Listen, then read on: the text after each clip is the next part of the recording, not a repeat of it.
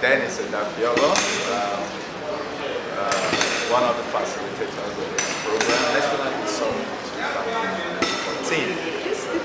Uh, National Summit has been a very wonderful moment of transformation actually. Uh, want to say a lot of thank you to Dr. David Okoye, the president of the Foundation, the organization that is uh, powering the program National 2014. Uh, it's been a wonderful moment uh, in uh, ICC International Conference Center. Yes.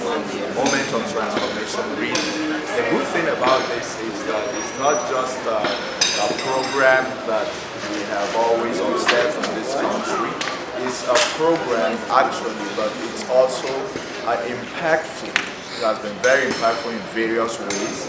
First of all, uh, we had plenary sessions and uh, discussion sessions, then panel uh, sessions where a lot of things were discussed.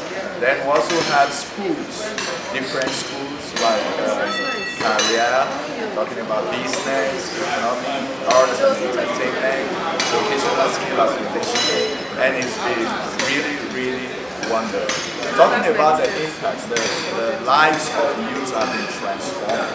Other youths who have been doing vital things and things that are really result oriented have spoken to other youths and uh, they really have been challenged to their foundation to ensure that whatever they do, they have the transformation of Nigeria. So the program, the National Youth Summit 2014 has been impactful in tremendous, tremendous ways. Once again, a lot of thanks to uh, Dr. David Okoye for his leadership, visionary leadership, and everything he has put together to bring to reality, to bring to fruition the uh, impact that we're feeling